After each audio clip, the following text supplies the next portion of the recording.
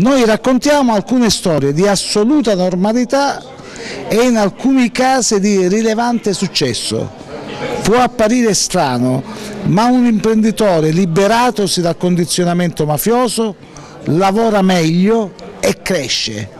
Le storie che noi presentiamo oggi sono storie di imprenditori che dopo che hanno denunciato hanno visto crescere la loro azienda, aumentare il numero dei dipendenti, da 5 passare a 11, da 10 passare a 40, crescere la ricchezza che si produce e soprattutto dimostrare che si può vivere normalmente anche dopo aver denunciato. Storie di normalità e di successo di commercianti, imprenditori e semplici cittadini che hanno avuto il coraggio di denunciare il racket e l'usura riconquistando la dignità. Le loro testimonianze raccontate questa mattina in sala giunta sono state al centro dell'iniziativa voluta dalla FAI, Federazione delle Associazioni Antiracket e Antisura Italiane, insieme con il Comune per riflettere sul fenomeno e sulle misure per contrastarlo. Noi vogliamo affrontare questo tema con la convinzione di eh, distruggerlo prima o poi, che il tema della criminalità organizzata, della criminalità, dell'usura, dell'estorsione, della camorra e delle mafie,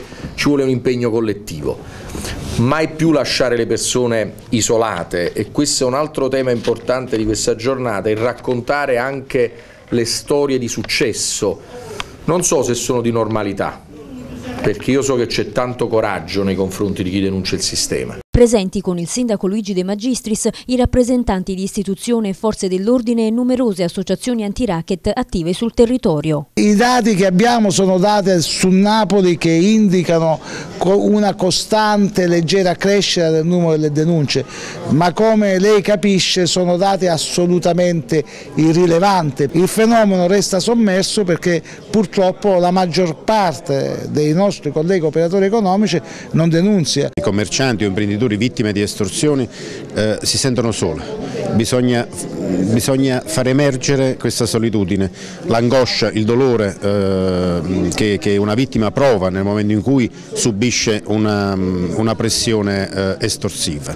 Eh, è un delicato equilibrio tra eh, fiducia che si deve instaurare, rapporto empatico con le vittime e capacità da parte delle forze di polizia di essere eh, oltre eh, la denunzia, oltre eh, il rapporto formale eh, giudiziario deve essere, si deve instaurare un rapporto di empatia.